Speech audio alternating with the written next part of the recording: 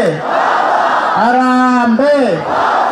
Wacha tuambie jamii yetu ya Wapokot na nyinyi mtusikie kwa utaratibu. Sisi ndio viongozi wenu ambao mlitachukua. Juzi mkatupea chama ambayo ni chama kipya ambayo anasema chama ya Kenya Union Party, na hiyo Kenya Union Party imepeana proposal kwa baba na mtu ya kwanza kuheshimu tabia na mwenendo ya Wapokot kwa kuomba kura ni Mheshimiwa Raila Amolo Odinga. Baya kwa mambo yetu. Tabia yetu ni namna gani? Tabia yetu ni hii Wapokot, na wageni wasikie leo. Tabia yetu ni kwamba kama wewe uko na msichana eh, msichana atafuti bwana, ni bwana anatafuta msichana. Mtu akiwa na msichana yake hawezi tembeza msichana huko usijui wapi huko huko.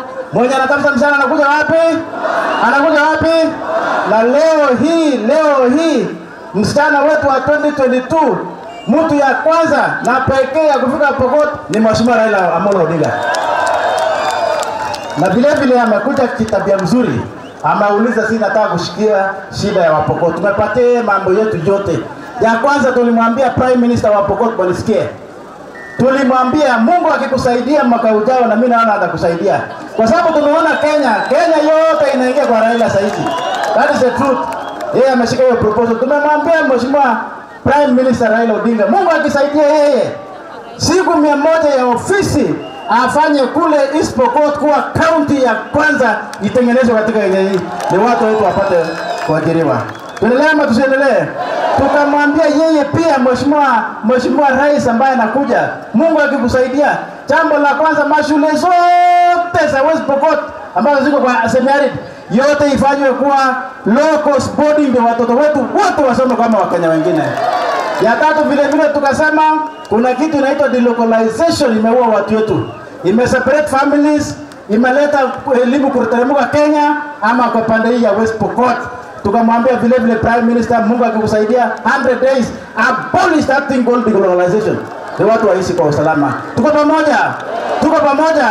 Alafu sasa mambo ya 6000 6000 kwa kila familia, hiyo ndio inatosha pokoja. Jamani, niambie hiyo ukweli, hiyo ni kitu yetu hiyo hiyo ni kitu yetu, ama namna gani jamani? Kwanza wapokoto wako na wanawake wengi, Prime Minister.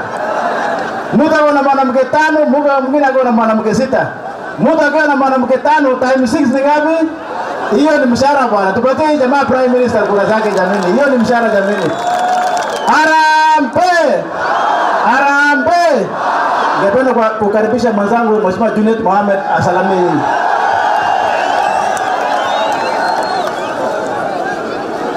Makutano oye! Makutano oye! Wangapi wanasema baba aendelee?